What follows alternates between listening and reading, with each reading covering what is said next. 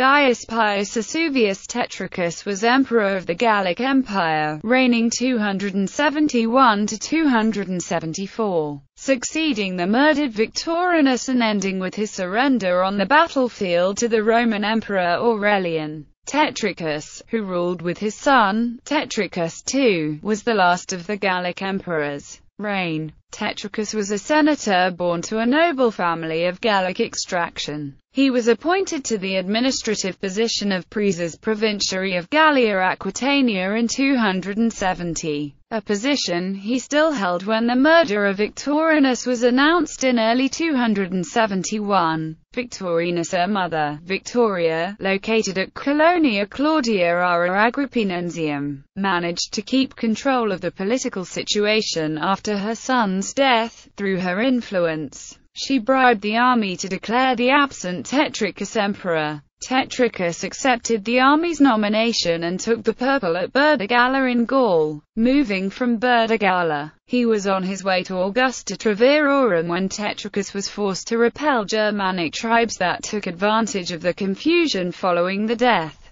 of Victorinus to invade Gaul. By the end of 271 Tetricus had made Augusta Treverorum, near the vital Rhine border, his capital, and had celebrated a Victoria Germanica, but was again called out in 272 to deal with a fresh incursion that reached the River Loire. However, continued invasions across the Rhine and along the coasts forced Tetricus to abandon the frontier forts and withdraw the troops to defend the interior of Gaul. Regardless of his difficulties with the Germanic invasions, Tetricus was recognized as emperor throughout Britain and most of Gaul apart from Narbonne and Narbonensis, where Placidianus had reclaimed some territory under Claudius II Gothicus. Although Tetricus made no move to expand his territorial reach, he did invest time and resources reclaiming some provinces that had been reconquered by the Central Empire, such as southeastern Aquitania and the western parts of Narbonensis.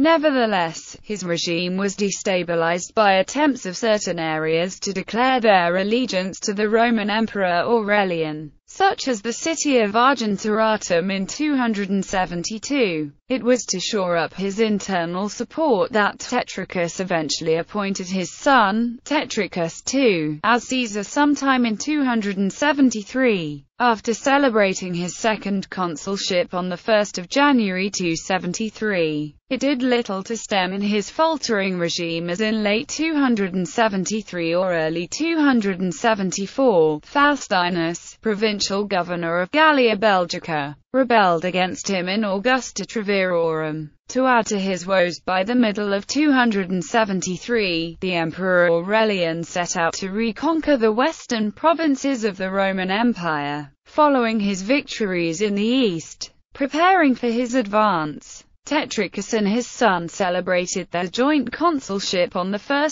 January 274 before marching southward from his capital to meet Aurelian who was advancing into northern Gaul. The decisive battle took place near Chalons-sur-Marne, in late February 274 where Tetricus' army was cut to pieces in an event remembered as the Catalaunian catastrophe. By March 274, both Tetricus and his son had surrendered to Aurelian. Later imperial propaganda declared that Tetricus had agreed to surrender to Aurelian in exchange for his life. But the price was to be his betrayal of his army prior to the battle, which in the event continued regardless. It was claimed that Tetricus quoted Virgil in his letter to Aurelian, Eripi me his, Invicta, Melies. According to literary sources, after being displayed as trophies at Aurelian's triumph in Rome, the lives of Tetricus and his son were spared by Aurelian, and Tetricus was even given the title of Corrector Lucanii Bruttiorum, that is governor of a southern region of Italia. Tetricus died at an unknown date in Italy. He is listed as one of Rome's 30 tyrants in the Historia Augusta.